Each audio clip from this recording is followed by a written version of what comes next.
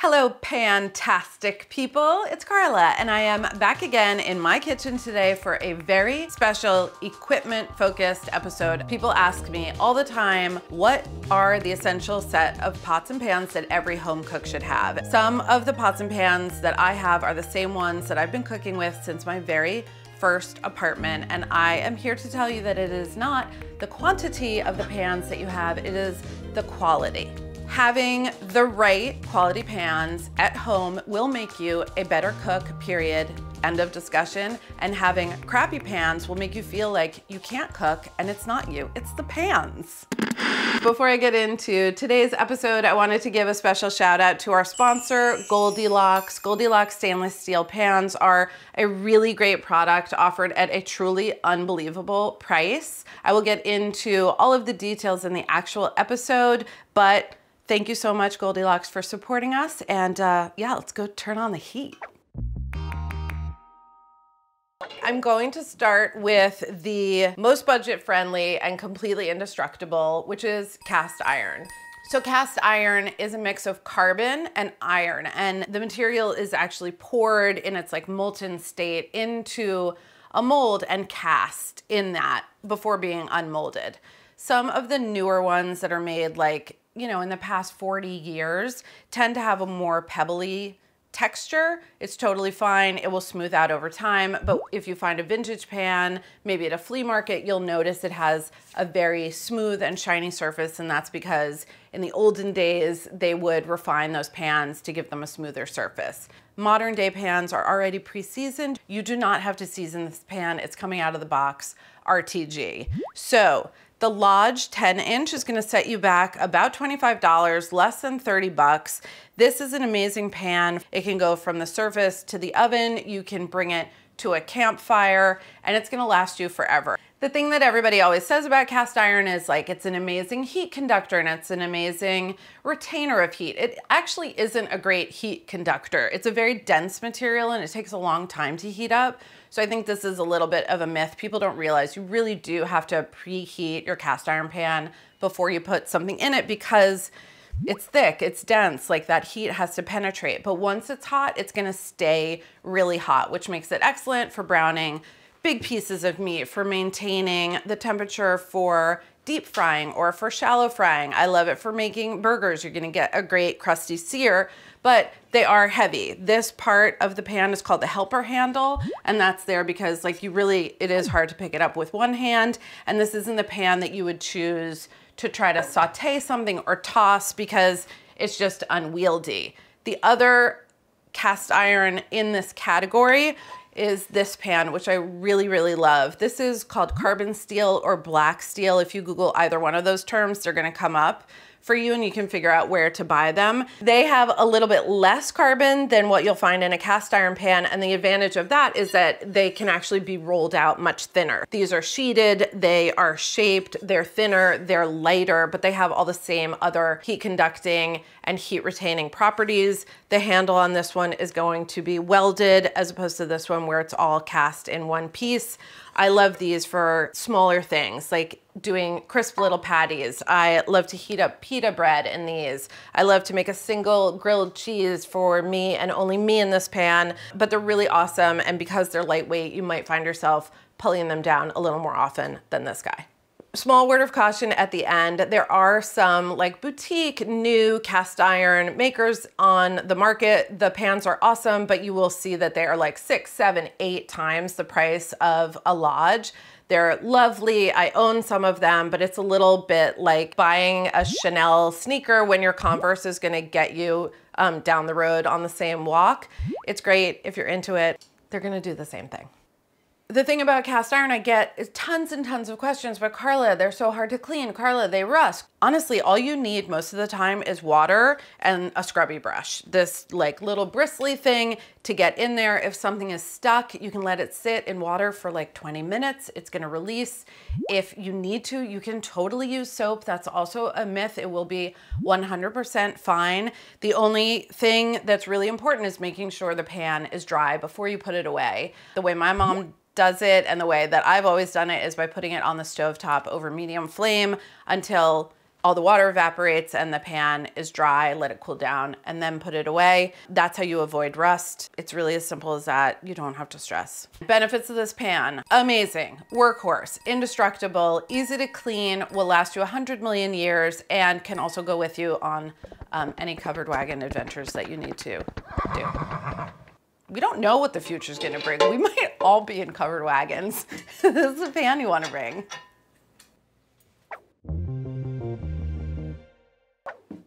Stainless steel. This is a very, very popular material for very, very good reason. Amazing heat conductivity. They heat up really fast. They look great. They're lightweight. This is why stainless steel is like such a basic, such an essential in every kitchen. That said, there is a lot of crap in this category. You're gonna find like an insane variance in prices, which can be really confusing and also act as a barrier. On the high end, that's gonna be a reason why beginning cooks are not gonna invest in that cookware. On the low end, you might think it's a bargain, but actually get the pan home and realize it's super light and flimsy and things are scorching in it and you're gonna think that you were cooking wrong when actually it's that pan. That pan is never gonna pay off for you. I've been using these Goldilocks pans for a while now and they have the attributes that you wanna look for when you're shopping for a pan. Okay, first of all, it should have a nice weight to it. If it feels too light for its size, that means that these layers of stainless steel are incredibly thin. You're gonna get burning, you're gonna get scorching, even when you're over low heat, and you're gonna end up throwing this pan away.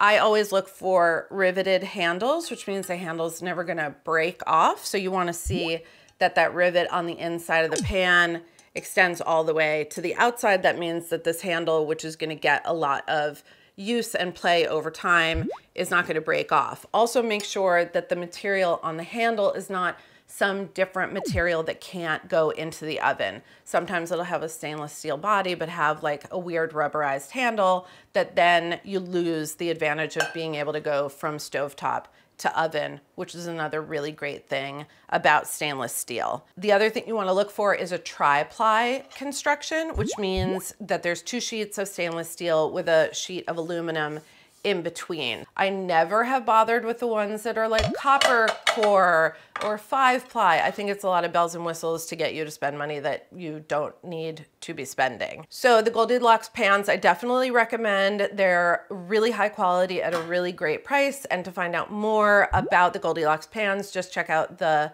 link in the video description. The skillets I'm gonna use for sauteing things. You can definitely use them for stir fries if you don't own a wok. They are big enough to brown off something like a pork loin or chicken thighs. So if you heat your pan up properly and you have the right amount of fat or oil in your pan, these are as nonstick as anything out there. Everybody needs a tall pot for boiling pasta, for steaming, for simmering, for doing your grains, for doing your beans, all of those very important things. And then saucepans with lids. Small usually means one to two quarts. Medium in a recipe is gonna be three to four. You know, the little one is really great for warming up milk. Cosmo really loves to make hot cocoa in this one in particular. So yeah, you'll find lots of reasons to have both sizes. Another really great thing about stainless is that it can be shaped with these beautiful curves. So look for a nice curved edge instead of a straight wall meeting the floor of the pan. That means you'll be able to get in there with your spoon and stir and really get into the nooks and crannies. Your whisk will be able to go around. This curved edge means if you're pouring liquids, it's gonna come out really nicely. And same deal on the skillet this rounded side means when you go to toss, there's actually like a beautiful little ski slope for things to toss and flip over.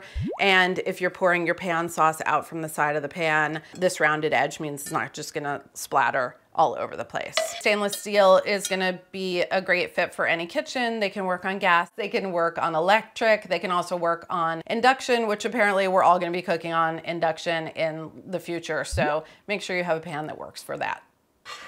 See you later, stainless. It's time for the next material. All right, I also very strongly recommend you have an enameled cast iron Dutch oven. You can see I have like a little bit of an obsession with my Dutch ovens. These are the pans that you're gonna use constantly all the time for braises, for stews, for your ragouts, for building pasta sauces. You can bake bread in these because they're cast iron and enamel, they also will last forever and ever and ever. If your pot does chip, this is my mom's Creuset from the 70s. What's underneath is cast iron. So even if you do get a little surface nick in the enamel, your cooking surface is totally good to go. The one that I recommend you get if you're only having one is something in the six to eight quart range. As with stainless steel though, the prices can get insane. This one is a Staub pan. I really love it. It's very expensive. It's heirloom quality, but it has a lot of the things that you're gonna wanna look for when you go shopping. You want a lid that fits really tightly and preferably overhangs.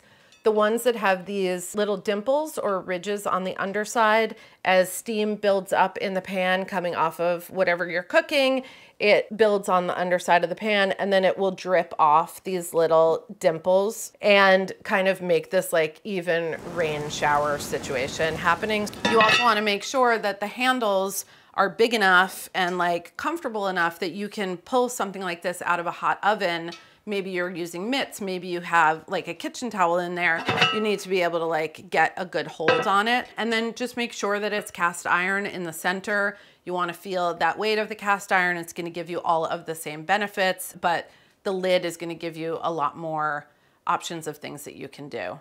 We love our Dutch ovens. Don't dilly dally, little Dutch ovens. I've got one more pan to show you.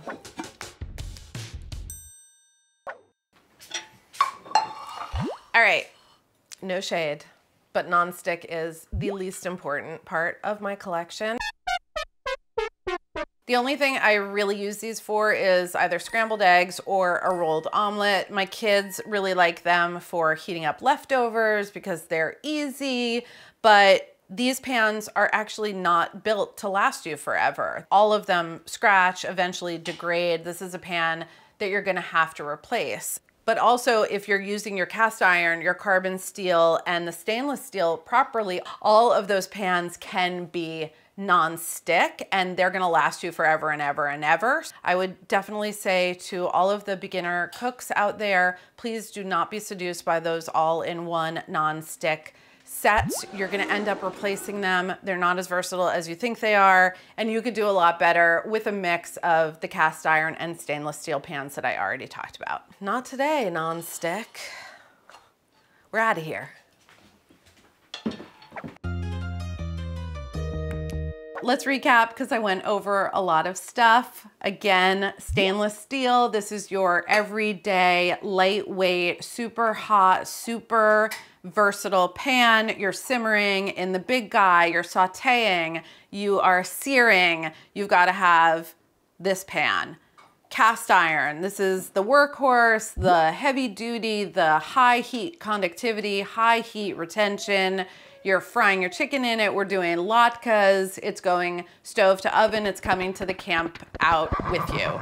Enameled cast iron, Dutch oven, soups, stews, braises. You're baking your sourdough in it. You build your pasta sauce and bring all of that together really important. You're gonna use it all the time. And then finally, non-stick. I would put this in the optional category. So that is, again, my recommendation to you, no matter what level cook you are, at every budget. I hope that we covered sizes, materials, the uses. I really do think that this is the right mix for any kitchen.